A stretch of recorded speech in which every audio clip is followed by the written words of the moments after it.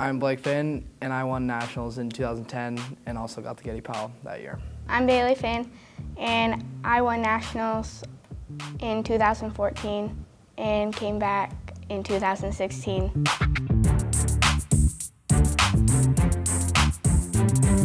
Uh, my oldest son, Brent, um, started showing you know a ton of interest in, in uh, shooting baskets when he was fairly little.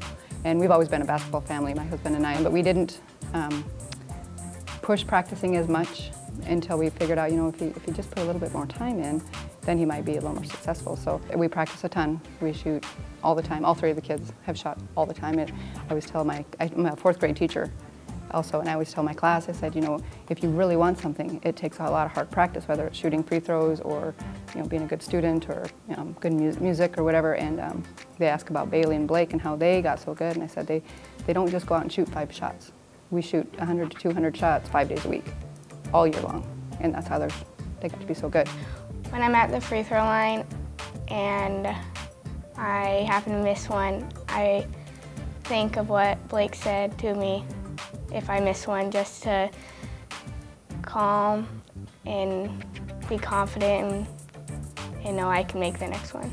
And there's lots of lessons uh, that can come from the hoop shoot. Uh, biggest thing is uh, work ethic. In anything you want to be good at, it just takes a lot of hard work.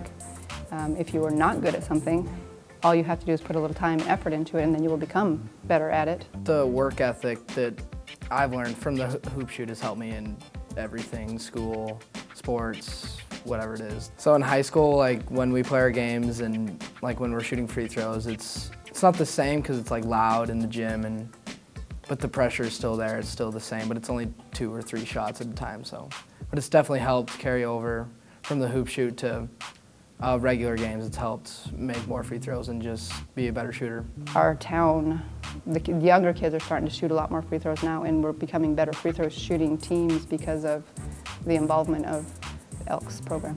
So it's been great. And then if you finally get to nationals, it's amazing and it's a I mean, once, once in a lifetime adventure, which we kept telling our kids that, and we're on our fourth, fifth adventure.